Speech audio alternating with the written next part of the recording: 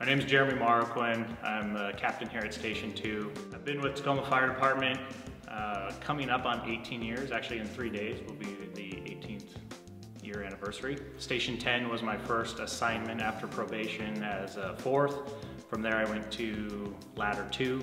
Uh, spent many years there uh, as a firefighter. From Ladder 2, I was promoted to lieutenant, and I spent a year and a half at Engine 16 and then uh, almost two years at Engine 7. And then from there I was promoted to captain and ended up here at Station 2. Um, as far as family goes, it's just me and my wife Kendra, uh, no kids.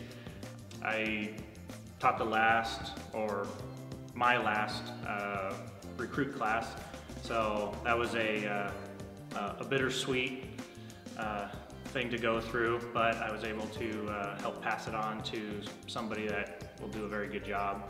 Um, I really liked um, being part of the training center and helping uh, teach new firefighters uh, vertical ventilation, which was my area. Uh, when I was down at the training center and the pandemic kicked off, uh, they were looking for people to volunteer to make masks because there was no masks to purchase at the time. And so uh, my wife and I decided that we would try to chip in and help the cause. Um, so it's, it's a little humbling to, uh, actually it's very humbling to not only be nominated, but then to win the award. Um, I think everybody likes being appreciated or uh, told that they have done a good job. And a while back, I set a, a very broad but simple goal for myself, which was try to leave Tacoma Fire Department better than I found it.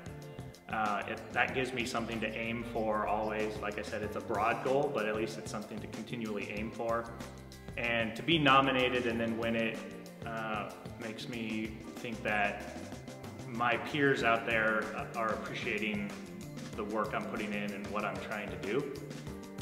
Um, and it gives me a sense that maybe I'm heading the right direction and, and working towards that goal. So uh, very humbling, uh, I appreciate it very much and it was, uh, it was amazing to, to hear some of the things that my, my peers wrote about me.